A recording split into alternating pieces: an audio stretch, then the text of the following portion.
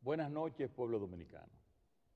Como saben, siempre estamos atentos a lo que siente y necesita la gente y estamos dispuestos a responder cuando sea necesario y dar las explicaciones que sean oportunas. Reconocemos que hemos debido hablar antes y explicar en detalles a todos ustedes lo que hemos encontrado en el Estado. No obstante, a 53 días de mi toma de posesión, es oportuno y necesario dirigirme a todo el pueblo dominicano para informarles y responder a sus necesidades. Este año, no cabe duda, está siendo uno de los más difíciles de nuestras vidas. La pandemia del coronavirus ha marcado el panorama económico mundial. Nadie estaba preparado para el impacto destructivo a gran escala sobre todas las economías y la vida de las personas. Las medidas sanitarias de distanciamiento físico y aislamiento social afectaron de forma sensible la economía cuando fueron paralizadas simultáneamente todas las actividades productivas. Simplemente recordemos que la gran mayoría de los países del mundo están sufriendo una recesión en el año 2020. Nunca antes se había registrado una crisis económica y de salud de tal magnitud en tan breve plazo y de manera simultánea. Como consecuencia, el bienestar general de la población se ha visto reducido de manera indiscriminada. Todos, absolutamente todos, hemos sufrido los efectos de la pandemia en la salud física, mental y económica. El sacrificio asumido por la población y el Estado es enorme. La economía dominicana tuvo una caída acumulada del 8.4% entre los meses de enero a agosto. Esto es una consecuencia directa de las medidas restrictivas para mantener bajo, bajo control la propagación de la pandemia. Esta caída ha afectado a los sectores más productivos del país, como son el turismo, transporte, comercio, construcción y manufactura local. La economía ha sufrido una importante crisis, pero la pandemia no es la única culpable. El país no olvida que durante muchos años el gobierno fue un instrumento de una corporación partidaria dedicada a convertir el patrimonio público en patrimonio privado. Entre patria y patrimonio, eligieron patrimonio la máxima dirección del PLD instauró un régimen político dedicado a la corrupción y a la impunidad. Esta es la fecha en la que aún no completamos la real magnitud del daño causado, porque cada día encontramos cosas nuevas. Esta idea es compartida por la mayoría del pueblo dominicano y por gobiernos extranjeros. En el mes de marzo del 2019, el Departamento de Estado de los Estados Unidos dio a conocer en su informe sobre los derechos humanos la alta complicidad que tenía el gobierno de entonces con la corrupción y la impunidad. Nos podrán decir que la corrupción es difícil de erradicar porque depende de acciones individuales. Sin embargo, la impunidad es una acción política deliberada que se convirtió en un instrumento de gobernanza para garantizar seguir en el poder. Eso lo estamos cambiando. La Cámara de Cuentas, responsable de auditar, nunca ha auditado a fondo ni en serio a ninguna entidad pública. Le hemos solicitado que lo hiciera ahora, pero en ningún caso ha acudido. Esta Cámara de Cuentas responde a los intereses del PLD. Esta Cámara de Cuentas es parte de su blindaje y sus miembros ya deberían haber renunciado. Esa es la razón que nos llevó a ordenar a la Contraloría General de la República realizar auditorías en todas las instituciones públicas. Este organismo, que tenía años sin realizar auditorías, ya envió auditores a las principales instituciones del Estado. Esta estructura de impunidad establecida por el PLD la estamos desmantelando e inmediatamente tengamos los resultados de las auditorías, actuaremos. No obstante, en algunas instituciones las irregularidades son tan obvias que ya fueron depositadas en el Ministerio Público, como el caso de los 11.500 millones de pesos del contrato de excepción del hormigón asfáltico, entre otros expedientes. No podemos olvidar tampoco que la Unidad de Operaciones Estructuradas de Odebrecht, el Departamento de Sobornos, funcionaba desde la República Dominicana. Hoy sabemos que desde ese departamento se realizaron 62 pagos por 39 millones de dólares en sobornos realizados a la planta termoeléctrica Punta Catalina. Esos pagos y proyectos de obras públicas no fueron incluidos en ninguna investigación o causa judicial hasta la fecha. El nuevo Ministerio Público ha informado que está investigando este caso. Como ven, fuimos azotados por la pandemia de la corrupción y la impunidad mucho antes de la propagación del coronavirus. La alta dirección del Partido de la Liberación Dominicana y funcionarios de la pasada administración responsables del mayor régimen de impunidad y corrupción no tienen autoridad moral para criticarnos. El pueblo, ni tampoco nosotros hemos olvidado. No hemos olvidado que los ilícitos de los gobiernos del PLD cubren casi la lista completa de todos los tipos penales este comportamiento ilegal involucraba de arriba hasta abajo a muchos en el gobierno y en el partido. Lo mejor que pueden hacer es guardar silencio mientras el pueblo habla, porque la diferencia es que este gobierno es honrado, ético, transparente y sobre todo escucha. Este presidente escucha, porque nosotros como humanos podemos cometer errores, pero siempre rectificaremos lo que aseguro es que no voy a tolerar ningún acto de corrupción en mi gobierno. Por escuchar a la ciudadanía y por interés de la nación, fue que nombramos un Ministerio Público independiente que tiene total libertad para investigar y someter a la justicia cualquier expediente que involucre casos de corrupción perpetrados contra el patrimonio público. Se hará justicia pero reconociendo que la justicia penal tiene un ritmo propio que no puede ser alterado por ninguna influencia externa. No creemos en el circo de la persecución sin fundamento que solo logra, al final, dejar en libertad a los culpables. Por escuchar a la ciudadanía, he instruido a la Consultoría Jurídica del Poder Ejecutivo una revisión exhaustiva para efectos de suspensión de todos los contratos que mantiene el gobierno dominicano con la constructora brasileña Odebrecht. No es posible mantener como contratista del Estado a la compañía responsable del mayor caso de sobornos de la historia del continente y del país. Por escuchar a la ciudadanía, estoy instruyendo también a la consultoría jurídica a contratar de manera inmediata abogados idóneos para que represente los intereses del Estado en las acciones tendentes a recuperar el patrimonio sustraído y exigir las indemnizaciones por los daños causados. Así haremos justicia. Por escuchar a la ciudadanía, hoy me dirijo a ustedes para informarles sobre el proyecto de ley de presupuesto para el año 2021. Y quiero hacerlo personalmente, porque ante situaciones difíciles y graves, la ciudadanía debe recibir las explicaciones directamente de sus máximos representantes públicos. Quise compartir estas palabras desde inicio del mandato, pero en ese momento el país necesitaba más que nunca esperanza para no caer en la frustración. Pero hoy les tengo que decir que cuando llegamos al gobierno, los beneficiarios de los programas sociales no habían recibido el pago correspondiente al 7 de agosto y no había dinero en caja para el pago de nóminas. Lo que sí encontramos fue el pago irregular de 40 mil millones de pesos no presupuestados a contratistas y en compromisos electorales para sostener una red clientelar. Asumimos el gobierno con una presión en la tasa del dólar, escasez de reservas, de divisas y una deuda enorme porque la administración anterior de manera irresponsable tomó préstamos en los tiempos buenos y no en los malos cuando es necesario. Y a todo ello se sumó la presión del COVID-19 sobre nuestros hospitales que los mantenía colapsados, según dijo el director saliente del Servicio Nacional de Salud.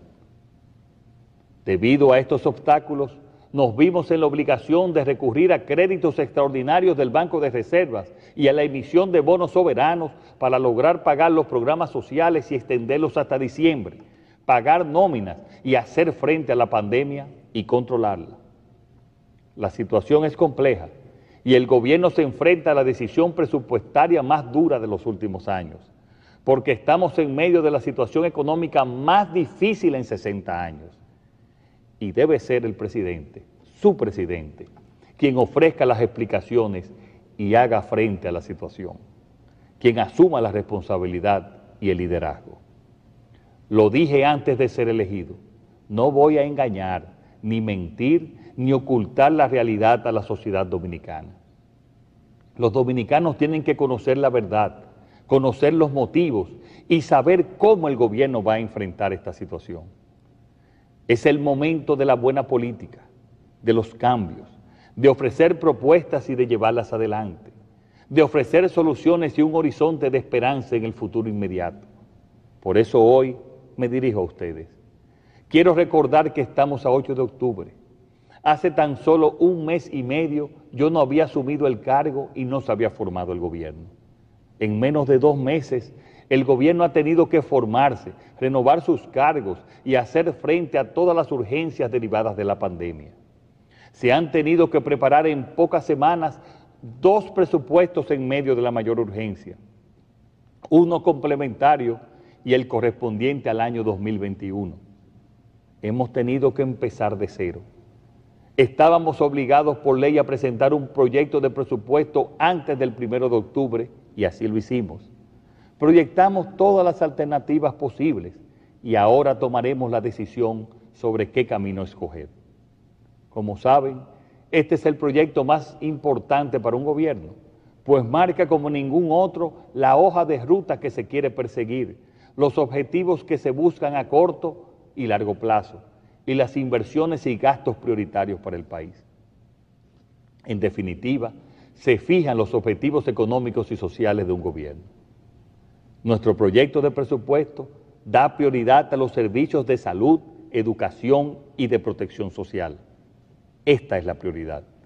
Este presupuesto nace en un contexto de dificultades derivadas de la pandemia mundial que estamos sufriendo, pero también de la mala planificación de gasto e inversión del gobierno anterior. Esta crisis sanitaria los sorprendió porque no hicieron su tarea.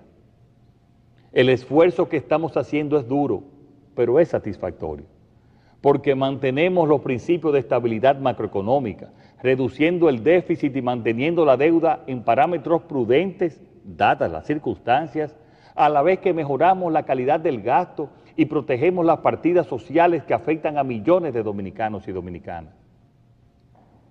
Hemos controlado la pandemia, estamos colocando las bases de un crecimiento económico sano y rescatamos y ayudamos a todos los ciudadanos y empresas de nuestro país. En medio de esta difícil situación, hemos podido incrementar las reservas internacionales brutas en un 58%.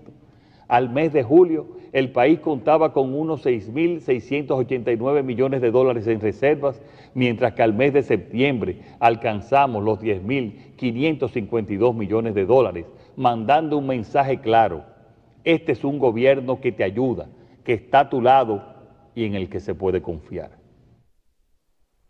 Ahí está, señores. Quisimos ponerle aquí en este espacio diario 16 este trozo del discurso del presidente Luis Abinader Corona, eh, que se dirigió a la nación dominicana anoche, y era justo y necesario nosotros escucharlo en medio de de muchas críticas, de muchas turbulencias que se dieron a propósito de que, de, yo diría que una mala orientación al primer mandatario de la nación. Yo siempre he dicho, sin temor a equivocarme, que la persona puede tener, óigame, la mejor de las iniciativas que quiera tomar en un momento determinado. Pero si quien rodea a esa persona con buenas intenciones no es gente calificada para que tu trabajo pueda brillar, no vas para ninguna parte. Porque el trabajo del protagonista tiene que tener un equipo de gente que esté para que todo pueda salir bien. Si todo el que está no ejerce su papel como le corresponde, no hay manera de que el protagonista pueda brillar, que en este caso es el presidente de la República. Fíjense las palabras del presidente, que va a escuchar a la gente. Y a propósito de eso, sacó los pies de donde lo tenía. Innecesario, innecesario eso innecesario. Es como cuando usted se busca a un problema y usted dice, que, pero no, no tenía que ser, ¿por qué yo me busqué eso? ¿Y por qué pasó eso? Innecesario. Presidente, revise su gente alrededor. Revise su gente alrededor. Revísela. Como cosa suya revise su gente alrededor. Porque lo están haciendo que usted tenga que demasiada, de, manera repetitiva, otra vez tener que intervenir y, dirigirse al país. Revise su entorno, que muchas veces uno tiene que revisar con quién está.